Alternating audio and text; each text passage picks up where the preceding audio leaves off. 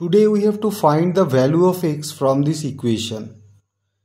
This is an important equation comprising of log and exponents as well. Let us try how to solve this one.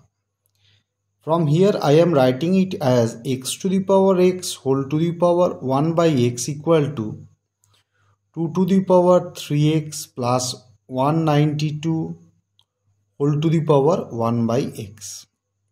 I am doing whole to the power 1 by x in both sides. Now obviously x and x gets nullified so left side becomes x and right side becomes 2 to the power 3 plus 192 by x. The entire index is being divided by x. Now a to the power m plus n is a to the power m into a to the power n. I am I can write it as 2 to the power 3 into 2 to the power 192 by x. What is 2 to the power 3? 2 to the power 3 is 8. So x equal to 8 into 2 to the power 192 by x. Taking 8 in the left side I am getting x by 8 equal to 2 to the power 192 by x right? Now I can write it as the right side expression that is 2 to the power 192 by x. I am writing it as 2 to the power 8 by x whole to the power 24 this is the trick. Why I am writing this? Because 8 into 24 is 192 and in the denominator index it is already x over there. Now I am assuming x by 8 as a different variable y. So this problem indeed becomes y equal to 2 to the power y whole to the power sorry it becomes if x by 8 is y then 8 by x is 1 by y 2 to the power 1 by y whole to the power 24 okay.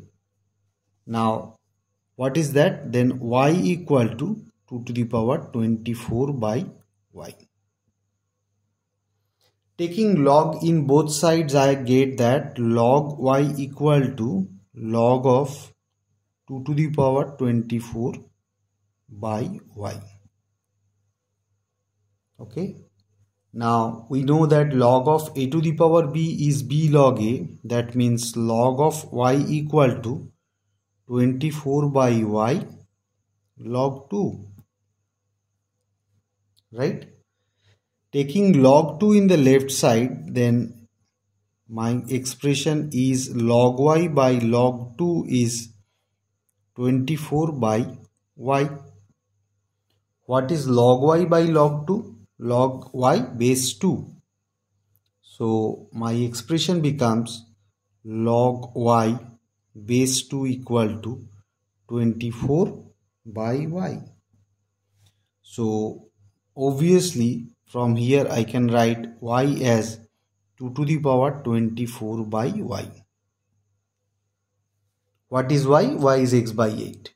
Now if I do one thing y to the power 1 by y that is I am again doing indexing by 1 by y then it becomes 2 to the power 24 by y whole to the power y. Sorry I am doing here y to the power y. I am doing indexing with to the power y. So it becomes y to the power y is 2 to the power 24 because this y and this y gets nullified so 2 to the power 24 I can write it as 2 to the power 3 whole to the power 8 because 3 into 8 is 24.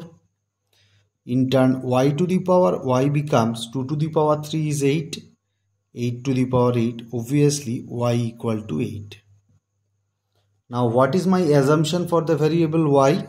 y equal to x by 8 that is 8 so x becomes 64. We get it through cross multiplication. That is the answer of this complex equation which comprises of logarithm and exponents as well. If you like this video, I would request everyone to view, watch and subscribe my channel and watch other videos as well. Thank you.